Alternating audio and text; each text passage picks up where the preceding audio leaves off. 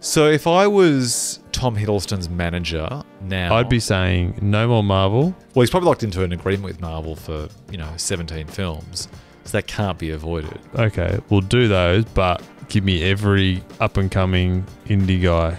So did you see Frank with Fassbender? No, So this is ballsy. Frank was a film that played at Sundance, and Frank that's where they're all wearing helmets.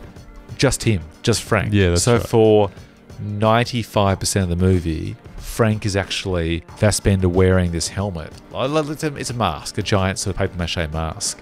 And is Fassbender under it? So it's not like, for example, they got him on set for three days and then just shot with a different actor and used ADR, like voice replacement, to place him in a These are the kind of movies that I think you should do. he should do. Hmm. Yeah, so that that's that's like ballsy by everyone. Like, let's Yeah. get Fassbender, who's our biggest star, and hide his face on the poster and in the film. Yeah. I think he should do something. I agree. An indie film, British indie or American indie, or does he head off to Slovenia and do a sort of Slovenian western? No, How obscure does I he? think go? he just needs to challenge um, the viewers' perceptions of him. However that happens, I think if he tries to go and do a big dark, you know, Eastern European intense movie, I think people are going to go try hard.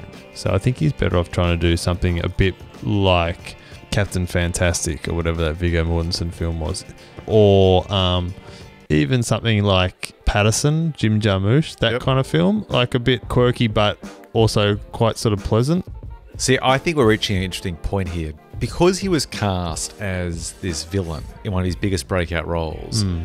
it seems that he's searching desperately for a hero role, Mm-hmm. someone who isn't Loki, the opposite of Loki. Mm-hmm. But he's going for the obvious. Yeah.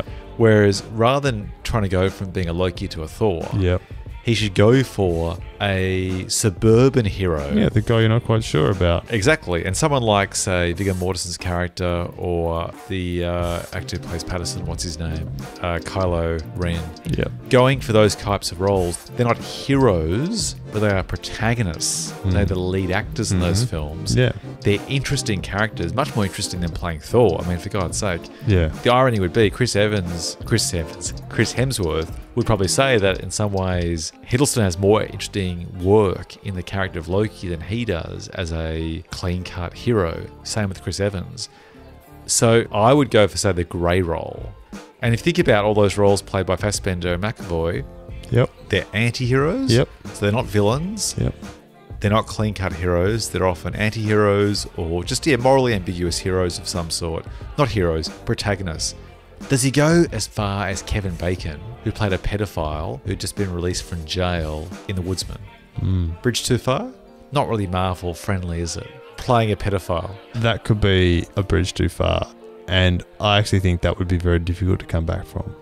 Yeah. Maybe it's one of those things where he plays a morally conflicted soldier in a war film. Even if he is- could get in, say, say an ensemble cast like The Departed, Nicholson, Wahlberg, Sheen, DiCaprio, Damon, even something like that, like a really good film where he's not the lead and he's he's not a bland hero character, as you were saying. He needs something like that to give him a bit of cred. Anyway, Yeah. good luck to him, All right.